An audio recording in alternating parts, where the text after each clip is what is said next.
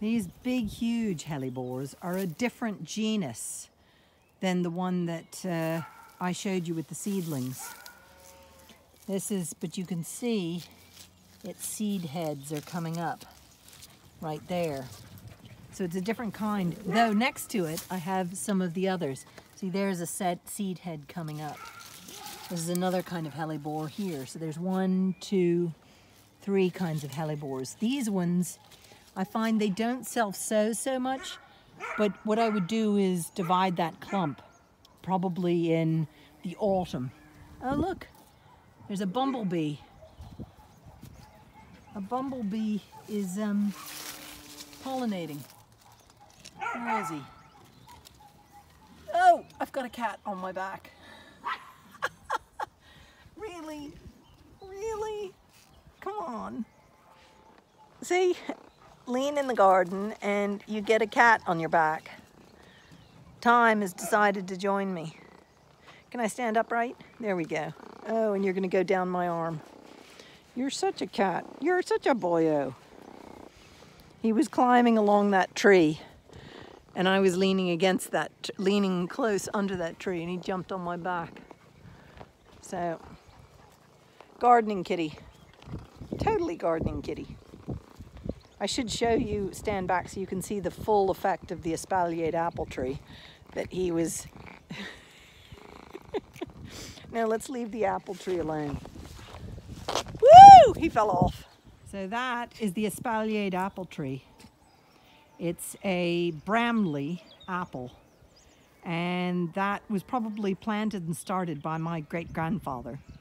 When I was growing up there were some lower branches coming out on either side but those we've pruned off. And it's, from I gather from other garden experts, it's one of the la largest freestanding espaliered apple trees in Ireland.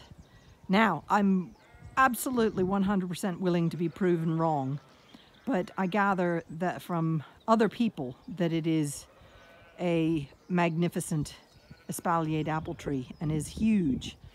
I don't know if you can see, there's pepper underneath it. So you can maybe get an idea at how big it is and what a spread it has of its branches. And under that tree is hellebores. And this particular hellebore and that particular hellebore, there are two different kinds. They're kind of, this one you can kind of see is very limey green. And then this one has a more pinky stem to it. You see that pinky stem? And those were brought back from their home country by my grandfather in the 1920s or 30s and given as gifts to his mother. And I gather from another garden expert that they that my grandfather probably collected them in the wild in um, Serbia or Yugoslavia or, or whatever it was called in those days. But the bumblebees love it. There's a bumblebee. Oh, it's up on the stars of Bethlehem. It's uh, pollinating away. Up there you can see loads of stars of Bethlehem up there. So that is the espaliered apple tree. This is a different, another kind of um, hellebore again.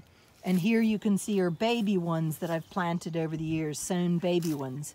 So this will continue to grow into a big uh, lot of hellebores underneath the this large espaliered apple tree.